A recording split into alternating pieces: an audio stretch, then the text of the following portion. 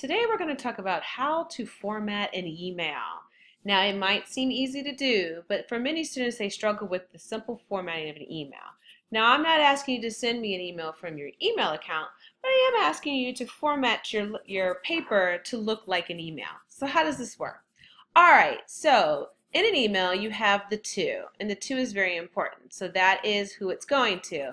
So I type out to, colon, and type an email address. It's okay if the email address is underlined and, and hyperlinked. The next line is from. Who is the email from? It's from you. So you would put your email or you can create a fake email address here if you like. Then the next thing is the date. What date did this come? Are you sending this email? That's important. Followed by the subject line. What is the subject of this email? And this one happens to be new student orientation.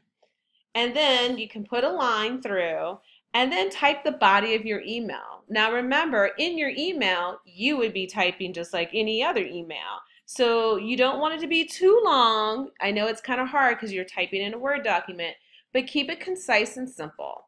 Those are my tips on how to format an email. So when your assignment asks you to format it as an email, make sure that it looks just like this.